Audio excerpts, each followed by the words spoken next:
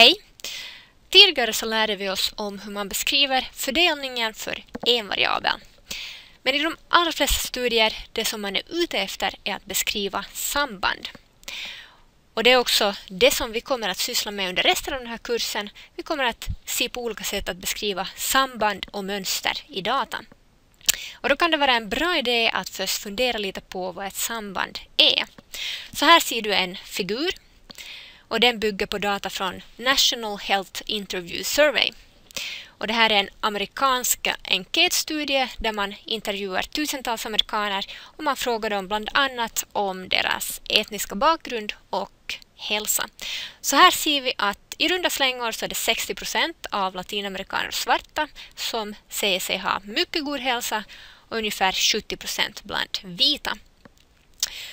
Okej, så finns det då ett samband mellan hälsa och etnisk bakgrund. Ja, så det är generellt när man talar om samband mellan två variabler, x och y. Då menar man att det finns ett samband om det är så att vet vi x, då lär det oss någonting om y. Så i det här fallet finns det ett samband mellan etnisk bakgrund och hälsa. Om vi vet en persons etniska bakgrund, ja, då lär det oss någonting om personens hälsa. Så i det här fallet skulle det inte finnas något samband om det skulle vara så att procenten som säger sig ha mycket god hälsa skulle vara lika stor i alla tre grupperna. Då skulle det inte löna sig att veta en persons etniska bakgrund om vi vill gissa hur bra hälsa den har.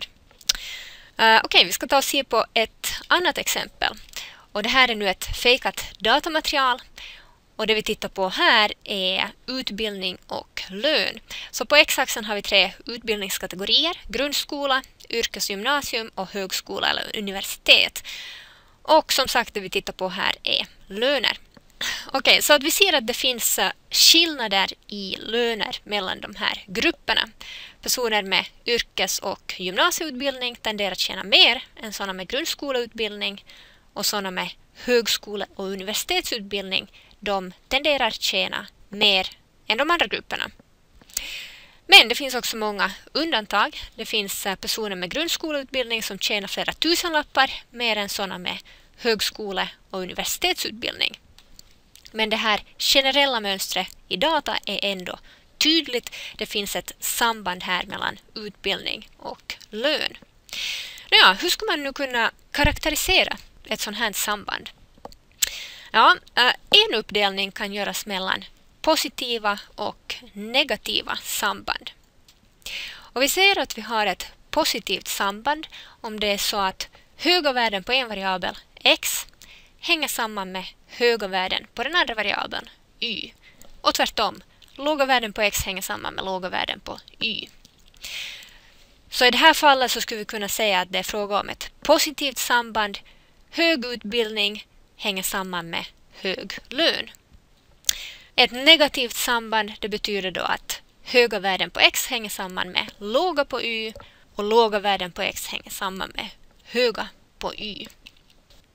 Det är inte alltid som man kan karaktärisera ett samband som antingen positivt eller negativt. Så i det här första exemplet så skulle det inte vara meningsfullt att beskriva det som antingen positivt eller negativt. Men väldigt ofta så kan vi göra en sån uppdelning och vi ska nu se ett exempel på ett negativt samband.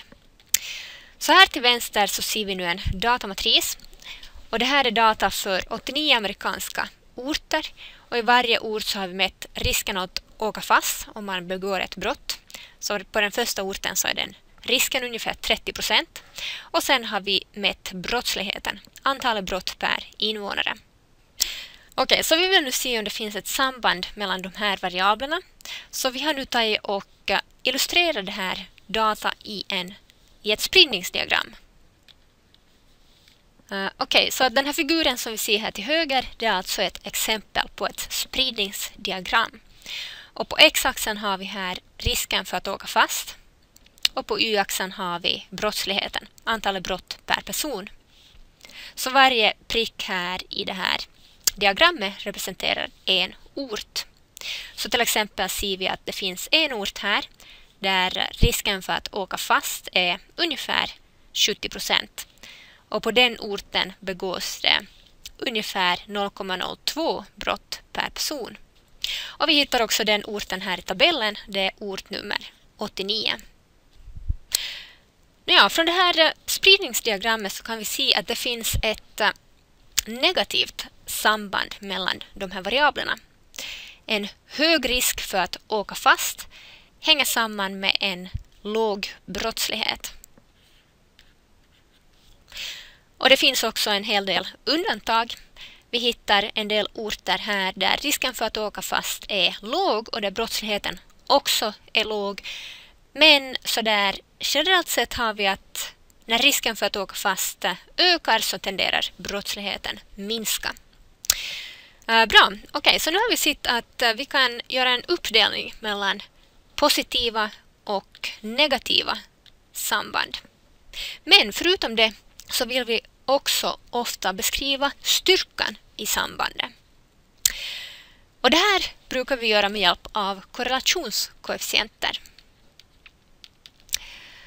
Så en korrelationskoefficient den mäter styrkan i ett samband. Och det finns uh, lite olika sådana korrelationskoefficienter. Men de flesta har det gemensamt att de antar värden någonstans mellan minus 1 och plus 1.